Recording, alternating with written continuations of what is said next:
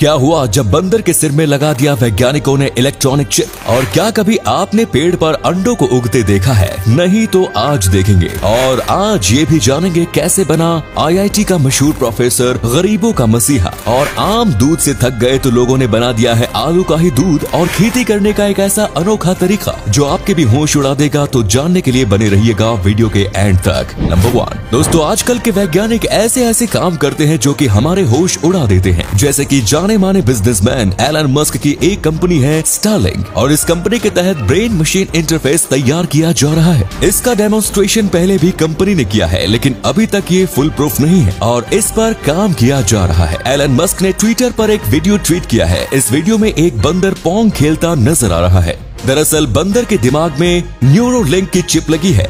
Neural link के तहत ऐसी टेक्नोलॉजी डेवलप की जा रही है जो ब्रेन इंटरफेस का काम करे। यानी कि आप अपने दिमाग से सारी टेक्नोलॉजिकल चीज़ें को कंट्रोल कर सकते हैं। और ये करने के लिए बाल से भी बारीक चिप ब्रेन के अंदर माइनर सर्जरी के ज़रिए इंजेक्ट की जाती है। फ़िलहाल इसे ऐसे लोगों के लिए तैयार किया जा रहा है जो किसी बीमारी से पीड़ित है। अब आप सोच लीजिए, इससे एक बंदर गेम खेल सकता है तो इंसान क्या क्या कर पाएँगे? नंबर टू हम सब जानते हैं कि अंडे केवल पक्षी ही देते हैं, लेकिन क्या हो अगर अंडे पेड़ पौधों पर उगने लगे तो? तब आप क्या कहेंगे? ये अंडा मुर्गी के अंडे के जैसा ही होता है। इस अंडे की खासियत ये है की आपको इस वेज एग में भी रियल एग जैसी ही पीली जर्दी दिखाई देगी। आपको बता दें कि इस अंडे को बनाने के लिए वनस्पति तेल तथा जेल का उपयोग किया गया है, पर इसमें वास्तविक अंडे की तरह कोलेस्ट्रॉल नहीं होता। इस अंडे को बनाने के लिए जिस पौधे का उपयोग हुआ है, उसको सोयाबीन का पौधा माना जा रहा है। इस अंडे को ओडीन यूनिवर्सिटी के विज्ञान विभाग के चार विद्यार्थियों ने मिलकर तैयार किया है। इस आइडिया को इन चार स्टूडेंट्स में से एक फ्रांसेसा जुकोलो ने इस बारे में बताते हुए कहा कि इस अंडे की सही रेसिपी बनाने में उनको 18 महीने का समय लगा। ये अंडा वेज है, पर इसके गुण बिल्कुल आम अंडे की तरह है। Number three. दोस्तों आईआईटी करने के बाद अक्सर लोग फॉरेन में नौकरी पाने की सोच रखते हैं, पर प्रोफेसर आलोक सागर की सोच बहुत अलग है। प्रोफेसर आलोक सागर का जन्म 20 जनवरी 1950 को दिल्ली में हुआ। आईआईटी में अच्छा स्कोर करने के बाद आईआईटी दिल्ली में प्रोफेसर बने, पर इनका यहाँ मन नहीं लगा। इनको थोड़ा अलग जीवन बिताना था। तो इन्होंने नौकरी छोड़ दी, और अब ये उनहत्तर साल की उम्र में कोछामाऊ में किसान का काम करते हैं। इन्होंने अपने खेत में फलदार चीकू, लीची, नींबू, मौसम्बी, संतरा, जामुन, काजू और सीताफल के कई पेड़ लगाए हैं। ये आईआईटी से पढ़े हैं, इसीलिए ये मुफ़्त में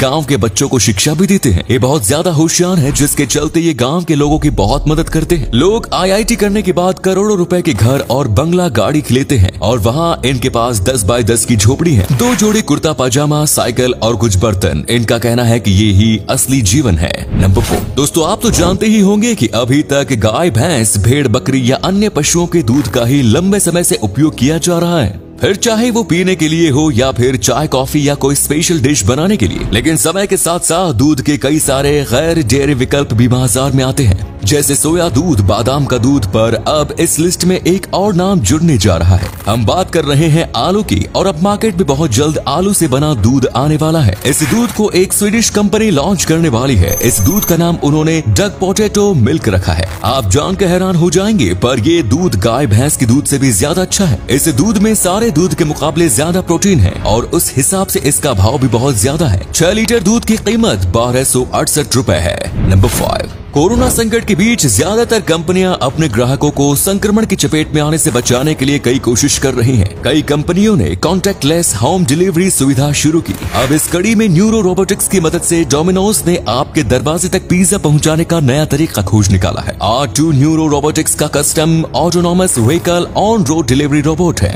इसे अमेरिका में इस्तेमाल करने की मंजूरी मिल गई है। ये सुविधा फ़िलहाल अमेरिका की ह्यूस्टन और टेक्सास में शुरू की गई है। ये रोबोट ऑटोमेटिक चलेगा और गूगल मैप और एरिया मैप के हिसाब से काम करेगा। और जिसने पिज्जा ऑर्डर किया है, उसे खास चार डिजिट का पिन दिया जाएगा, जिसकी मदद से ही रोबोट को खोला जा सकता है। रोबोट में ऑनलाइन पेमेंट और ऑफलाइन पेमेंट दोनों कर सकते हैं और पेमेंट करने के बाद ही पिन जनरेट होता है। नंबर सिक्स दोस्तों, हर एक जगह पर खेती करने के लिए काफ़ी अनोखे तरीके अपनाए जाते हैं, पर अभी हम आपको जो तरीका दिखाएँगे, ऐसा तरीका आपने कहीं नहीं देखा होगा। इस तरीके से इंडोनेशिया में फ़ार्मिंग होती है। ये पहले एक छोटा सा तालाब बनाते हैं और उसके आजू बाजू में पेड़ का एक घेरा बनाते हैं, ताकि तालाब का पानी सूखे ना और फिर खेत के चारों तरफ़ जाते हुए नाले बनाते हैं, जो घूम के तालाब में ही आते हैं। फिर बारिश होने पर जब पूरा खेत भर जाता है, तब पहले पूरे खेत में चावल उगाए जाते हैं, जिसके बाद इस खेत में कई सारी मछलियाँ छोड़ दी जाती है। ये मछलियाँ चावल में ऐसी कीड़ों को साफ़ करती है और ऐसा करने ऐसी चावल की खेती में दस प्रतिशत का मुनाफा होता है और चावल अच्छे उगते हैं। पर कमाल की बात तो ये है की चावल उग जाने के बाद और पानी सूख जाने के बाद ये मछली नालों में चली जाती है और नालों से तालाब में। फिर इन सब मछलियों को पकड़ के बेच दिया जाता है क्योंकि इतने दिनों से जीव जंतु खा के मछलियों की आबादी पाँच गुना गई होती है। ये मछली और चावल दोनों को बेच के काफ़ी अच्छा मुनाफा कमाते हैं। नंबर सेवन दोस्तों, जब जानवरों का हक छीन जाता है तो जानवर भी पीछे नहीं हटते। जैसे कि यहाँ पर कुछ मछुआरे सील्स की जगह पर आके मछली पकड़ने लगते हैं, क्योंकि बाकी इलाकों में मछली की कमी हो जाती है। कुछ दिनों तक सील्स को भगाने के बाद सील्स ने भी बदला लेने की सोची और एक दिन मछली पकड़ के जैसे ही मछुआरे जाने लगे, सारी सील्स ने एक साथ आके हमला कर दिया। एक एक करके इन्होंने सारी मछली खा ली और यहाँ तक कि सील्स ने नेट भी फाड़ दी, जो ये बताता है कि जानवर भी हमसे कम नहीं होते। नंबर एट BMW अपनी आम तौर पर कार्स के लिए जानी जाती है, लेकिन कंपनी ने अब एक इलेक्ट्रिक विंग सूट तैयार किया है जो बैटमैन की तरह नज़र आता है। इसे पहनकर आप आसमान में उड़ सकते हैं। इसका design famous sky diver Peter Salzmann ने तैयार किया है, जो पिछले तीन साल से इस प्रोजेक्ट पर काम कर रहे थे। ये सूट पूरी तरह से इलेक्ट्रिक है। BMW और डिज़ाइन वर्क्स के बीच एक समझौता हुआ, जिसके बाद इस विंग सूट को तैयार किया गया। इस सूट के चेस्ट माउंट पर दो कार्बन प्रोपेलर और कथित इम्पेलर्स लगाए गए हैं। अभी इस सूट का इस्तेमाल सिर्फ़ टेस्टिंग लेवल पर किया जा रहा है। आमतौर पर विंग सूट की स्पीड 100 किलोमीटर प्रति घंटा तक होती है, लेकिन इसे इस तरह डिज़ाइन किया गया है कि इसकी स्पीड 300 किलोमीटर प्रति घंटा से भी ज़्यादा की जा सकती है। Number nine